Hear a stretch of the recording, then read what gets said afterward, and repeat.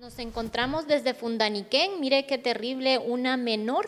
que prácticamente está quemado todo su cuerpo, urge ser trasladada a otro país, pero no se tienen los fondos, los recursos para hacerlo y es necesario hacer este llamado para poder solicitar esta ayuda y que se pueda lograr trasladar a esta menor, que sea Alfredo Ortiz quien nos acompañe, quien es el portavoz de esta institución que nos detalle. Gracias por la oportunidad de poder dirigirnos a la población hondureña. En efecto, como usted bien lo ha mencionado, en el Centro Hondureño para el Niño Quemado, gestionado por Fundaniquem, está hospitalizado una menor de nueve años de procedencia, Jesús de Otoro, en el departamento de Intibucá, quien se vio afectada eh, por el derramamiento de querosén cuando un candil cayó sobre su cuerpo y causó quemaduras de tercer y cuarto grado, lo que la ha mantenido en la unidad de cuidados intensivos y lamentablemente ella se encuentra en graves condiciones según el diagnóstico médico de los especialistas de este centro asistencial, por lo que se necesita de inmediato ser trasladada hacia Estados Unidos, donde ya coordinamos con el Hospital de Galveston,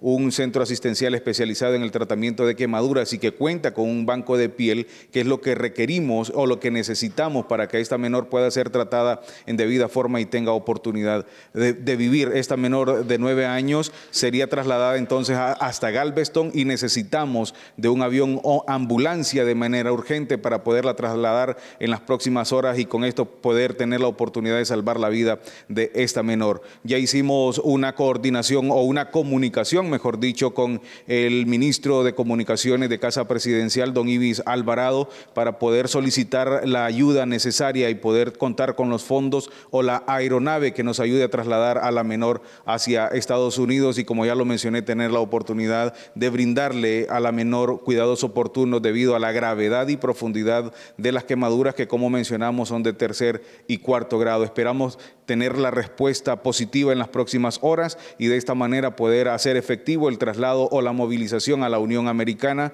desde el Centro Hondureño para el Niño Quemado, donde el equipo de especialistas brindan a esta menor cuidados especializados. Sin embargo, la limitante que nosotros tenemos, no solo en Honduras, sino también en Centroamérica, es que no se cuenta con un banco de piel y ante este tipo de afectaciones o de quemaduras profundas como las que ha sufrido la menor de nueve años procedente de Jesús de Otoro, es necesario trasladarla hacia Estados Unidos. Las imágenes son desgarradoras. Yo mire las fotos de esa menor. Entre más días pasen, la vida de ella está corriendo más peligro. Claro, entre más eh, se extiende o entre más tiempo pase, eh, la menor se va a ver seriamente afectada, las posibilidades de vida van a ir disminuyendo y es por ello que nosotros eh, le compartimos a usted, amigo televidente, pero también a las autoridades del gobierno central que necesitamos trasladar, trasladarla de manera urgente y esto es evidente porque hemos trasladado el resumen clínico donde está el diagnóstico y las condiciones en que se encuentra la paciente. Los especialistas han hecho ese trabajo y esa coordinación de compartir la información para poder buscar la ayuda necesaria y que esto se haga efectivo en las próximas horas, porque no podemos esperar tanto tiempo y esperamos que no, no, reportemos un deceso más en este centro asistencial donde la tasa de mortalidad es bastante baja debido al trabajo de calidad que realizan el equipo de especialistas, las profesionales de la enfermería y auxiliares en ayuda o en beneficio de los necesitados cuando de niños quemados se trata. Alfredo, y siguen llegando más menores con heridas realmente graves. El aumento de quemaduras en menores de edad es desmedido. Y aquí queda evidenciado un tema muy importante, y es la negligencia de los padres de familia. Yo hago un llamado en esta oportunidad al Ministerio Público que empiece a hacer el trabajo que corresponde a deducir responsabilidades, porque esto es desmedido y es necesario la participación de todas las instituciones que tienen que ver cuando de menores se trata para ver qué está sucediendo y poder realizar una campaña en conjunto, el Centro Hondureño para el Niño Quemado, gestionado por Fundaniquem, con los medios de comunicación además, porque la responsabilidad del medio de comunicación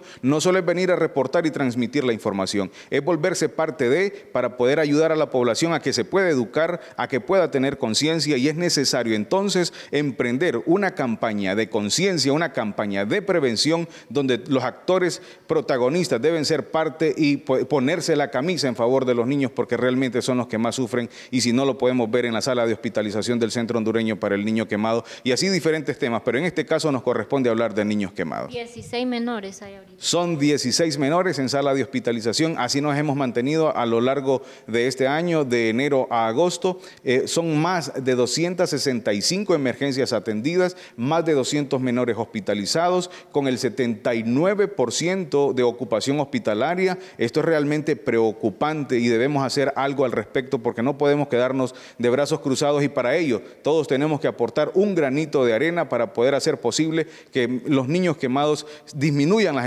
de los reportes de menores quemados.